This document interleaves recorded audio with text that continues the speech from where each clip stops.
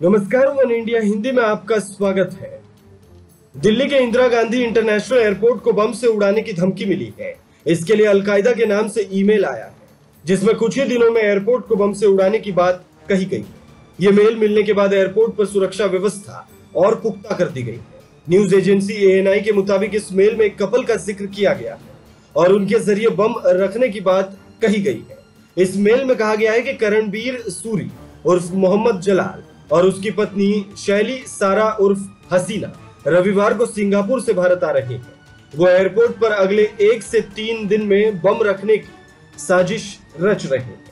Mail के ज़रिए धमकी मिलने के बाद सुरक्षा एजेंसियाँ अलर्ट हो गई है और आईजीआई पर सुरक्षा कड़ी कर दी गई है। एयरपोर्ट पर आने जाने वाले वाहनों की जाँच की जा रही है। साथ ही सभी टर्मिनल पर चेकिंग तेज कर दी गई है। इस मेल की जाँच करने पर सामने आया है कि पहले भी इन्हीं नामों के ज़रिए धमकी भरे मेल मिल चुके हैं।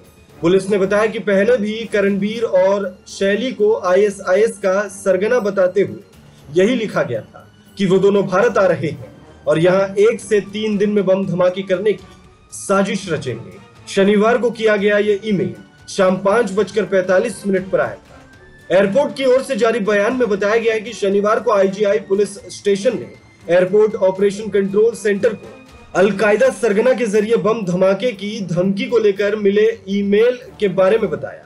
बयान में कहा गया है कि ईमेल की जाँच के बाद डीआईजी ने बताया कि हाल के दिनों में इन्हीं नामों और ऐसी जानकारी के साथ ही धमकी भरे मैसेज मिले थे, जिसे बॉम्ब थ्रेट असेसमेंट कमेटी ने इसे अविशिष्ट घोषित किया था। दिल्ली एयरपोर्ट ने कहा कि नियम के मुताबिक सिक्योरिटी ऑपरेशंस कंट्रोल सेंटर ने सभी संबंधित एजेंसियों को जानकारी दे दी है और सुरक्षा बलों को अलर्ट कर दिया है।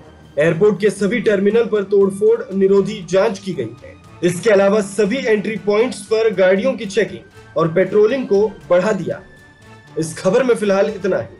तमाम अपडेट्स के लिए बने रहिए। वन इंडिया हिंदी के साथ।